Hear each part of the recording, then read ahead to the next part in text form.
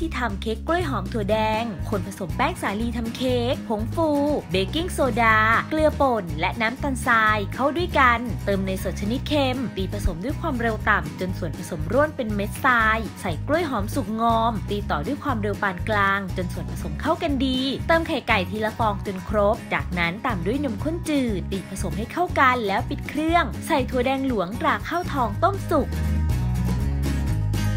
คนด้วยพายยางจนเป็นเนื้อเดียวกัน ตักส่วนผสมลงในพิมพ์ที่เตรียมไว้ เกลี่ยหน้าให้เรียบนำเข้าอบที่อุณหภูมิ 300 องศาฟาเรนไฮต์หรือ 150 องศาเซลเซียส ประมาณ